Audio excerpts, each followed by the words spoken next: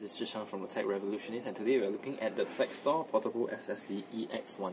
So this SSD is actually much um, different from the other SSD out there because it runs on a very new interface. It runs on the USB 3.1 interface. So as you know, most drives out there or most external SSD out there runs on USB 3.0. The difference between USB 3.0 and 3.1 is that it's actually twice as fast. So as we know, USB 3.0 actually runs at speeds of flight about 5 gigabit per second. This actually runs at 10 gigabit per second. So if you put on an SSD to this, you definitely will see the great differences um, in terms of performance and the reads and write speeds you can uh, see on the machine. So just now we actually did some benchmarks on this, and here are some of the results I would like to share with you.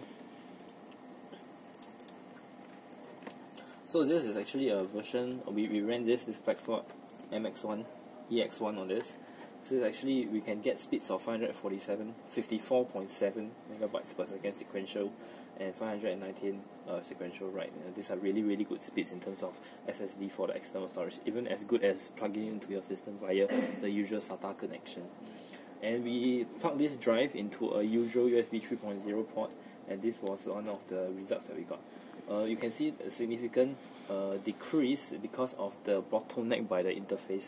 So actually, if you're running this SSD on a USB 3.0 interface, you can see that actually most USB 3.0 ports will uh, max the, the maximum transfer rate at these ports will be at about 440 450 megabytes per second. This is actually a interface limitation.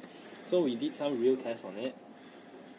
We transferred a huge file from um, a drive to another drive uh, we can actually see speeds of up to 398 megabytes per second. So this is really, really a good performance on this single drive, drive there.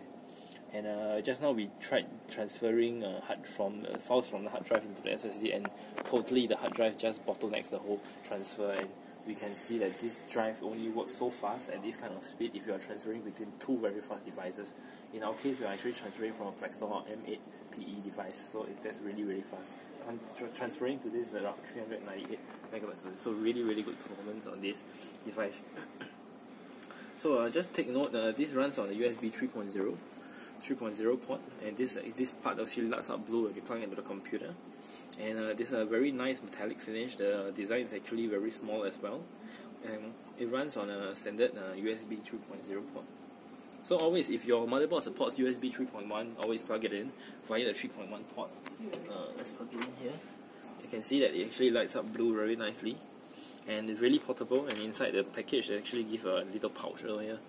So it's very nifty, very uh, convenient and portable as well. So uh, this is a great product on the Plextor Portable SSD EX1.